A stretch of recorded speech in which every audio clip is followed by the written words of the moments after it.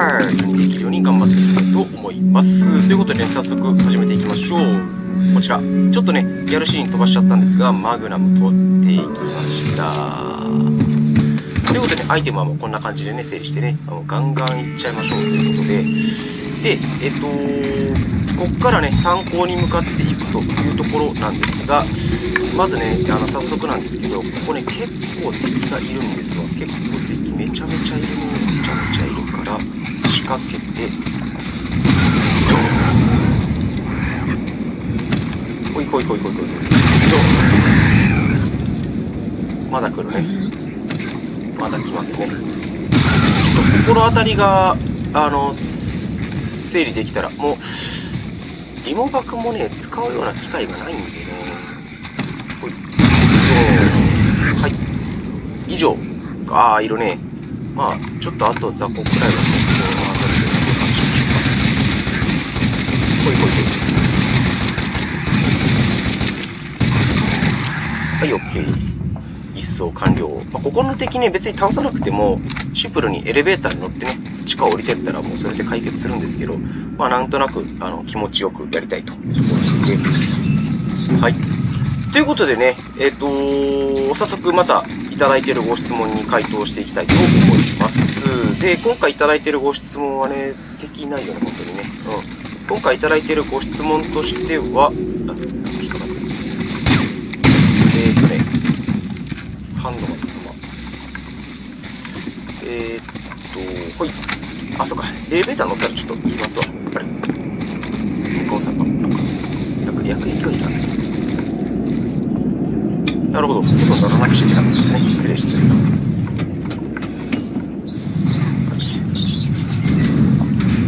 えっと、今回いただいている質問、まず1つ目が、えっと、日によってエネルギーの総量が違いますと、朝起きた時にいけるなと思う日もあれば、朝起きた瞬間からやばいなっていう感覚もあるんですよ。だから、ありますと。だから集中できる日とそうでない日の違いっていうのは一体何なんでしょうというご質問ですね。あ、これはまああるあるですね。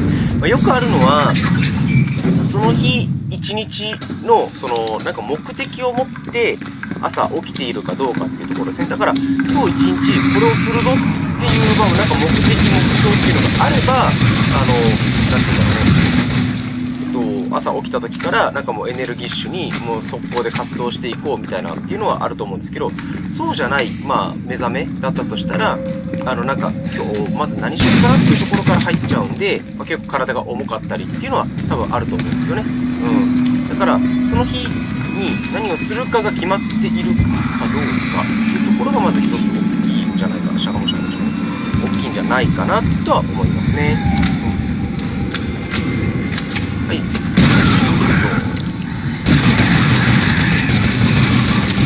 前の攻撃なんか食らうかいオラオラオラオラオラオラオラオラオラしゃがんで。ハーブ。で、ドーあ、まだ来てる。しつこい。しつこいから、個爆弾使い。あれ来ない。あ、引っかったね。もうさすがにこれで終わるでしょう。OK! 物は使い。ようってところですね。はい。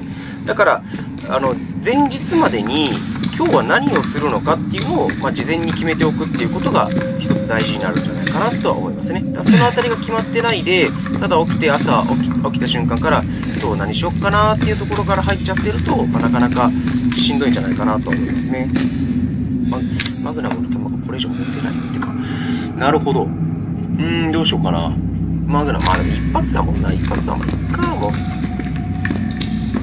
あとそんなにね、敵の数はこう、まあ、出てくるっちゃ出てくるんですけど、めちゃくちゃなんか倒さなくちゃいけないほどしんどいっていうわけではないんでね。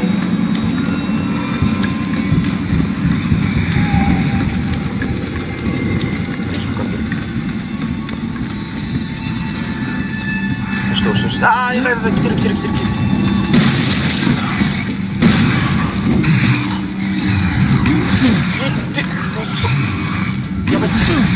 ててていやーマジかよ。えこんなにいたっけ？こんなところ敵。うわー俺ここで死ぬ気全然なかったのに。がっつり死んじゃったね。やられたさっさとやるべきでしたね。うわしかもこっからか。またあいつ出てくんじゃんはい。はい、オッケ。ー。なんかマイパート必ずなんかしょうもないやられ方してるな腹立つ。まあ仕方ないよね。ゲームの出力はこんなもんだからね。ようやくちょっとずつなんか慣れてきた感はあるんですけど、まあなかなかそうはいかんちやっていうところですよね。はい、ボーン。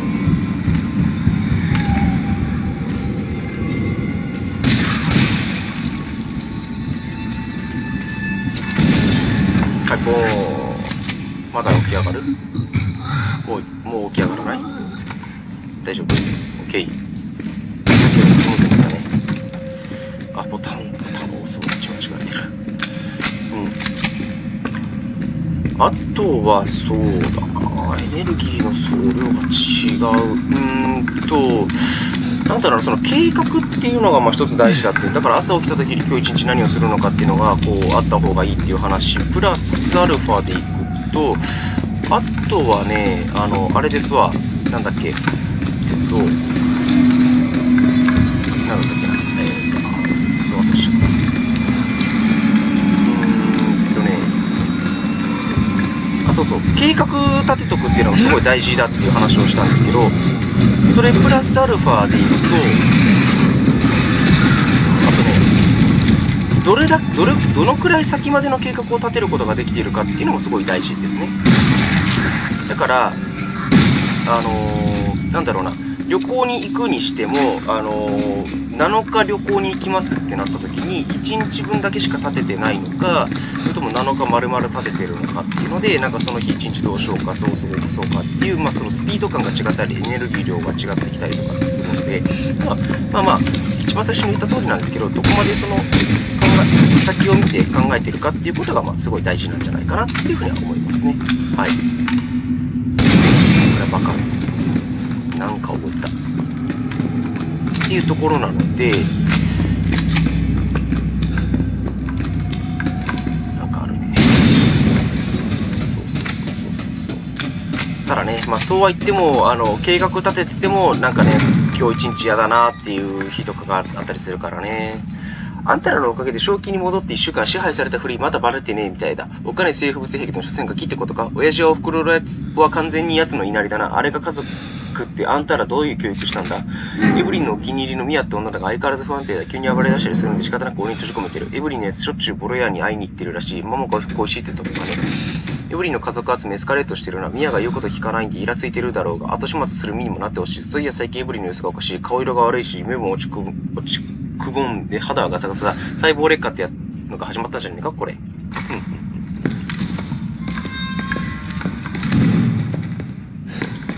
えーと、アイテムは特にお酒ですね。行きましょう。この辺りも、かな。いいネクロトキシン、E 型被験体に投与。投与5分後、被験体。これ、あらんじゃねえ細胞石化、石灰化。被験体死亡。ピピということで、まあ、計画立てましょうと。これをやるっていうのがな、決まってたら。だから、人間って、なんて言ったらいいんだろうな。あの、使えるエネルギー量っていうのがもう結構決まってんすよ。だから、何に使うかっていうのが決まってないと、その何に使うかっていうことを選ぶところからエネルギーを使い始めちゃうようになっちゃうんですね。だから、あの、選ぶことに疲れてしまって、もうなんか、その日一日はもうダリーやってらんねえってなっちゃうということなんですよ。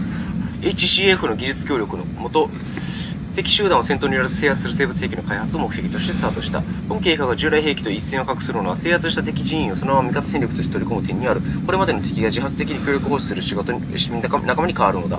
戦闘や捕虜管理のコストを一切かけずに逆に味方を増やす。このコンセプトに、でや、でなど各国組織が飛びついてのも無理はない。計画のきっかけとなったのでのエアーと呼ばれる新種の心筋、特異菌の発見であった。生物兵器は特異菌のゲノムをステージ4以前の人肺に組み込み、特定環境下で38週から40週ほどで培養することで製造される。製造された生物はただ被験体と呼ばれ、性能不能で実用に乏しい AD 型、諸問題をクリアした完成形 E 型とそれぞれナンバリングされた。兵器の外見には共通し10歳前後少女が選ばれた。都市や難民など社会集団に紛れ込ませるのが容易なためである。エブリンによる支配の第一段階、厳格である。感染後間もなく感染者はそこにいないエブリンの姿を目にし、他者には聞こえない彼女の声を耳にするようになる。感染者への聴取では、現役のエブリンは初めは少女らしく甘えるような態度で現れるが、次第に過激な要求や命令を行うようになっていくという、要求には自傷行為や他者への攻撃行動も含まれる。そのようにして、えー、感染者への精神攻撃、洗脳質、脳を含む全身の細胞じわじわカビに置換していき、最終的にはその肉体まで、ニュニュニュニュニュニュニュピンというところですね。はい。それからもう一つあるかな。他に確認されているエブリンの機能としては、菌糸から生物を形成する能力が挙げられる。この生物は無数の菌糸が集合したいわゆる超個体で、生物本能に直結した獰猛さと菌類ゆえの強靭さから大型肉食動物の大人の攻撃能力を持つ。兵器としてのポテンシャルは極めて高いと言える。研究者たちはこの超個体をモールデッドと呼んでいるようだ。カビ人間ということだろう。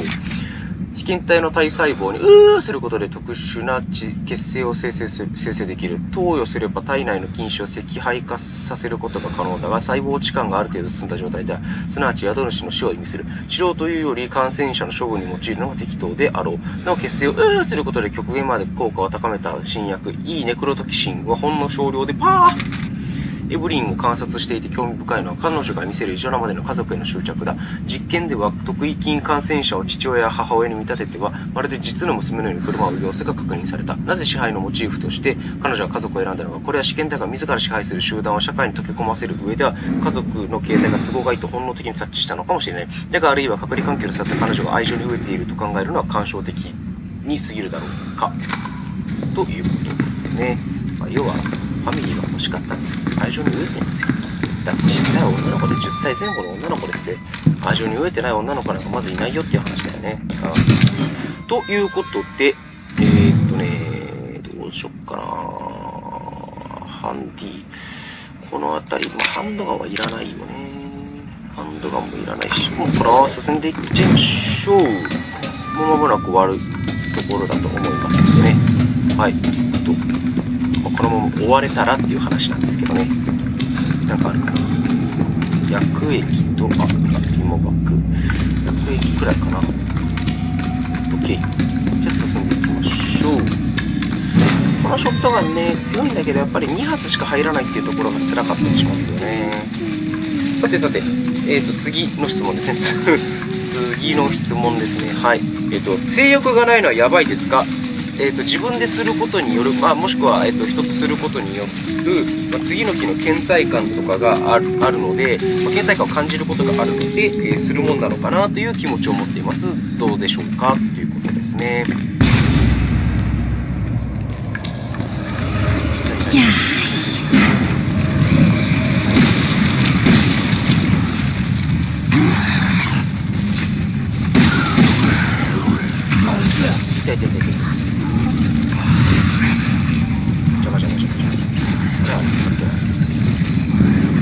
あいつら無視していきましょう。性欲がないのはやばいかっていうと、別に性欲ないこと自体が、そのなんかね、精神的にやばいとかそういうことではないとは思うんですよ。ただ、えっ、とね、何がやばいかっていうと、あの、一応、健康的な、健康面のことを考えると、性欲がないのは、まあ、ちょっとやばいことですね。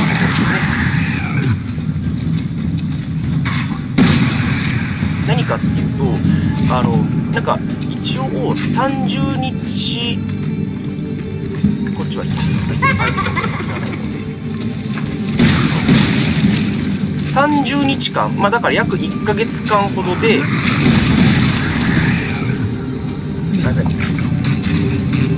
30日間のうちで、えー、と21日だから、まあ、2日に1回くらいのペースですよね。え、じゃあ2日に1回じゃない、3日に1回くらいのペースで、えっと、一応、行為を及んでいないと、まあ、この質問をいただいている方は男性の方なんですけど、女性はまた別なんでね、えっと男性に関しての話で言うと、えっと、3日に1回くらいは、あ、違う、3日に2回、アプリが落ちました。すいません。ということでね、続きやっていきます。まあ、男性の場合だったら、3日に2回くらいは、あの、その行為によって、あの、放出をしておかないと、まあ、あの、結構その、がんのリスクが高まるみたいなことは言われたりするんですね。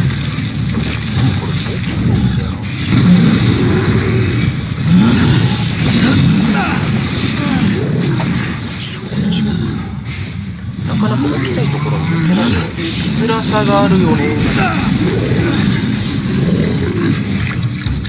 ちなみにこいつら倒さなくてもはしご登ってたりあのはしご登ってねクリアすることもできます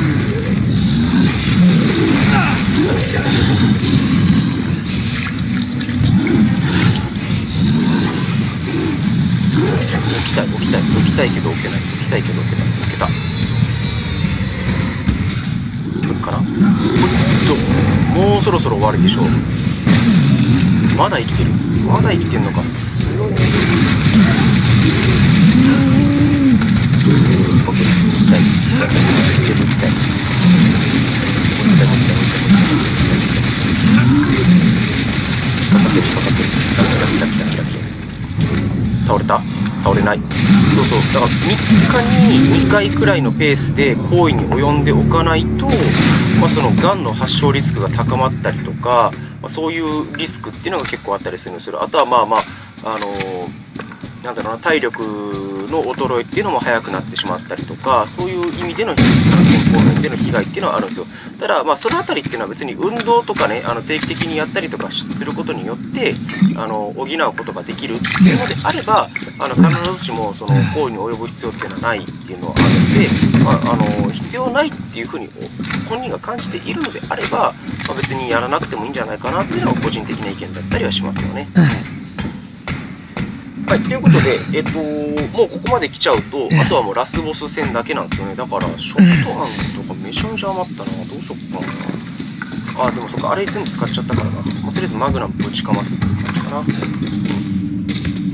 そうそうそうそう。で、あとは、そうですね、別にやばくはないけど、あのー、なんて言ったらいいんだろう。あのー、マシンがめっちゃあるな。こから戦われないのにな。あと、えっ、ー、とね、あ、そうそうそう、生死で、その、3日間で、まあ、大体入れ替わるっていうふうに言われてるんですよ。だからそれ以上の期間を空けてやってしまうと、まあ、その、自分でするんだったら問題ないですけど、例えば、子供作らなくて、子供作りたいなと、ね、子供作りたいなって、子供作らなきゃなっていう時に、それ以上の期間を空けて、あの、やっていたとしたら、まあ、あの、なかなかね、えっと、元気な子供元気じゃない状態のあの子供が出てきてしまうのでそれはそれでちょっとあ。の、まあ、問題があるかなっていうふうには思うんですよね。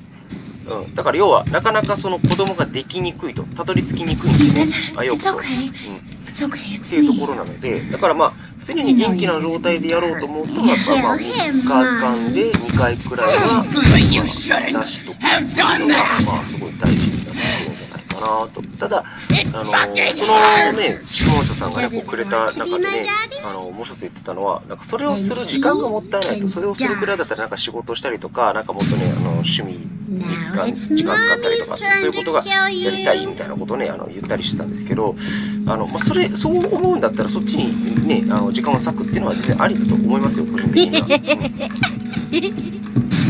んお前がお行儀よくしろよって話だな。I'm not playing. 俺は本気だぞ。脅し方が結構可愛いよ。はいはい。お前の助けなんかいらない。これ打たなくてよかったっけ？えてててててこれ、これって食らってんの？食ら、あ、食らってはないんだ。なるほど。とうとう、あの、イーさんも幻覚を見、見るようになっちゃったってことね。はいはいはいはいはい。じゃあ登っていきましょう。わー。わー。えーと、マグナム構えとけ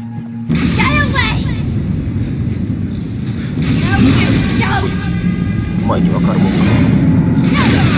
かえててててててててててて危ない危ない危ない近づくなってねわわわお注射よ？うん。だから何が問題かっていうとそのそれに使う時間がもったいないって思うことがすごいあの重要でその時間帯自体を楽しむことができるっていう心持ちであれば、もうどんどんどんどんするのがいいと思いますし、おばあちゃん久々、ここにどうやって来たの？えー、本当にどうやって来たんだろうな、いつも。毎回思うよね。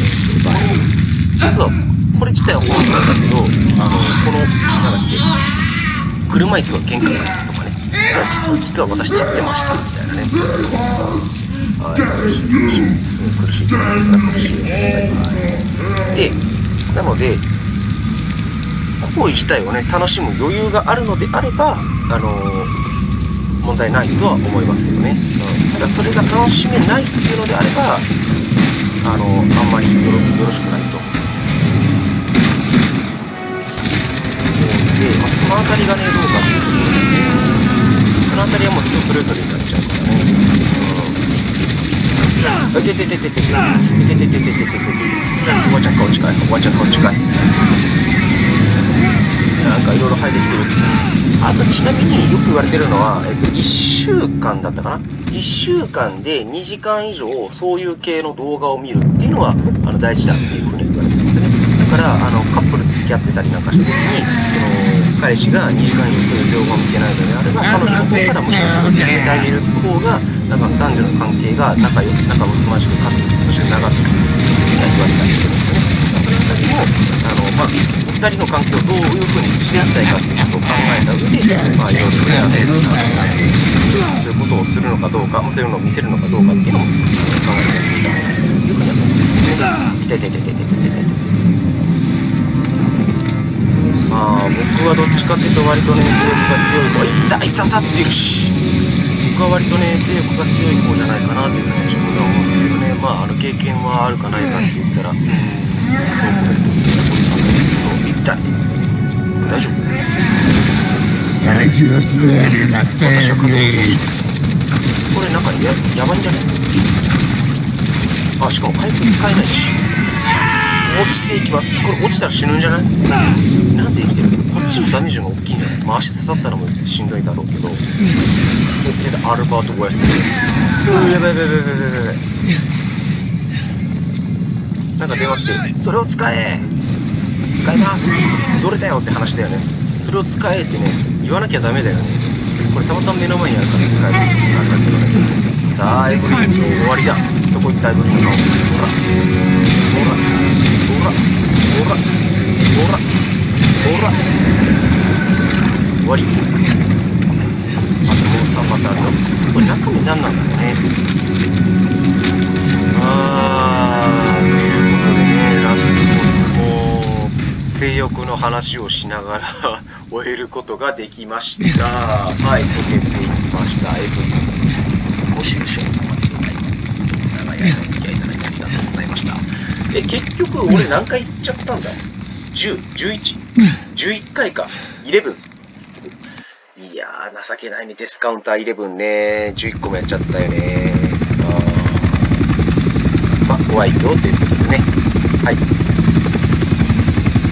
ということでね、えー、今回も最後までね、ご視聴いただきまして、どうもありがとうございました。バイオセブンで終わりましたので、まあ、多分、このパートと、その、この一つ、一個前のパートを上げるにあたって、おそらく、えっとね、バイオ8の方を先に上げてると思います。なぜかというと、まあ、バイオ8がね、あの5月8日から始まってるっていうのがあるんで、それが終わってからこのあのパートは上げてると思います。だから、ね、このクリスが一体ね、どういうね、あの闇落ちしたクリスみたいな運動言われてるんですけど、まあ、収録自体はね、5月の今日は5日かなにしてるんで、あの、あれなんですけど、随分遅かったし、イーさんとね、クリスの関係性も気になるよね。そのあたりっていうのが8でね、あの、明かされるんでしょうか、というところですね。綺麗。ちなみにバイオ8に関してはトレーラーくらいの情報しか知らないんで、体験版とかも全然僕見てないんですよね。体験版も見てないし、やった当然やってない。なぜなら、あの、スチームでしか、スチームしか持ってないんでやったこともないし、あの、知ってるのはミアが、セブンだと、あの、なんか残念残念みたいなこと言われてたけど、結構8の方だったら、こんなに綺麗になるのミヤすげえ美人は結婚してよ、どみたいな、なんかコメントが溢れ出まくってたっていうのは。Say that when one door closes, Another まあ、8に関しては、どちらかというと、まあ、バイオ4みたいな感じに近い構造になってるのかなっていうふうには、感じですよね。なんか、だって村から始まって、教会みたいなところ行って、で、城に行って、なんか田んぼ行ってってね、で、まあ、最後なんか実験場的なところに行ってみたいな、まあ、実験場の代わりになんか地下工場みたいな話だったんですけどね、っていうところに行って終わるみたいなね、まあ、そんな話だったと思うんで、まあ、あとはね、あのー、And these guys are here to clean up the mess. そのマザー・ミランダっていうのがサドランだからマザー・ミランダに関してはあのエレエレナなんなんかエレナなんじゃねっていう個人的にはすごいですよね。なんかあの死ぬシーンみたいなのがなんかあったっぽいけどその死ぬ死ぬ死んだふりをして実はマザー・ミランダとして生きてっていうような、まあ、もしくは感染してなんかボスで出てくるのかもしれないですけど、まあ、あでもそうか、エレナとして出てきたら、なんか単純にそれはどっちかってサイサイあの、ホラー映画っていうよりは、どっちかっていうとね、うん、なんか、サイコブレイク的な、えー、まさかのオチっていう、そんな話になっちゃうから、またちょっと別になるのかな。はい。ということでね、えー、最後までご視聴いただきまして、ありがとうございました。パート2ということでございましてね、え音楽が今流れている中ね、こうやってベラベラベラベラ喋ってると思うんですが、皆さん、えバイオハザード7のプレイご視聴いただいていかがだったでしょうか。いやー、初めてね、あの、スチーム版プラス、えそれからキーボード操作っていうところをやったので、本当に慣れなさすぎて、特にパート3だったかな。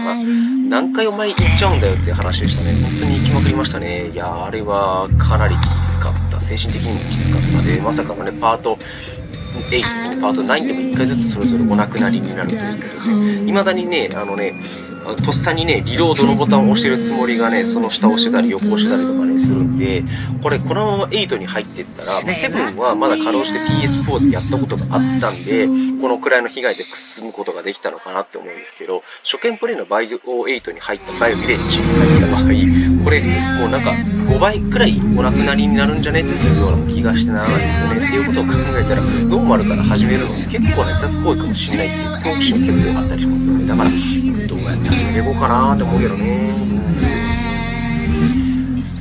まあ、そろそろバイオハザードも佳境を迎えてほしいっていうところであるんですけどなんか本当のなんだろうな終焉っていうのを迎えてほしいよねだからドラクエとか FF とかって1話完結物語じゃないですかところがバイオって最初本当は1話完結で作ってたはずなのになんか次に続く次に続くみたいなねあのスタンスになっちゃったからね、せっかく5でウェスカー倒してやったぜってなったのに、実はバイオハザード6で C ウイルスっていうのが出てきましたとかね、えーと、それから、まあ、あの映像作品だと A ウイルスが出てきましたみたいな、そういう話になっていて、いや、どこまで続くのいつになったらこの生物災害あの終わるの、バイオ終わるのみたいなね。まあ生きていく限りはね、こうやってバイオバイオハザードの作品ですごく好きなんで、どんどんどんどん好きが出てくれるっていうことは非常にありがたかったりしますし、こうやってね、あの、作品を通して皆さんとねお付き合いできるっていうのは非常に嬉しいものではあるんですよね。はい。一人マイオセブンはね映像綺麗でも写真を撮影した時はあまりにもリアルで綺麗すぎてね本当にビビり倒した記憶があるからね、まあ、まあ実際にね、あのジャックボーンって出てくるシーンで、あの僕ビビり倒して声上げまくってましたけどね。はい。ということで、えー、エンドクレジットも流れていくところなので、多分、この辺りくらいか、もしかしたらエンドクレジットが流れ始めたあたりから倍速にしてると思うんで、あのこの早口のさらに倍速って何倍速になるか話だと思うんですが、まあね、まあそんなこともご愛ということで、まあ、皆さん自身は、ね、これをご覧になっている方は、バイオハに少なくとも興味を持ってご覧いただいる方だと思うんですけど、皆さん自身はどうでしょうね、まあ、コメントとかに残してくれたらすごく嬉しいんですけど、バイオ何作品目が好きですね。僕個人的には、バイオ5が好きですね。そのストーリー云々っていうより、あの、あれくらいのなんかアクション性があって、それからまあ、あのボリュームがあって、ゲーム感がすごく好きで、個人的には一番、その中大活躍する映画でももあるんで、それこそ素晴らしいな、まあ、印象なんですね。まあ、ボリュとか、まあ、そのかでやるっていうふうに考えていくと、まあ、シは兄弟になり倒したっていうのがあって、ノーボーカルで一番、れ本当にもう、地獄のような経験を積とかあ、っ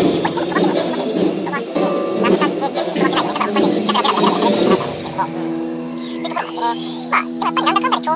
るいのであれば、バイオ、まあ、初代バっいうところないうふでが、とは、まあ、その、まあ、の、まあ、初代いうとろかっていう思うんですが、あ、まあ、あ、ま、ま、あ、まあ、まあ、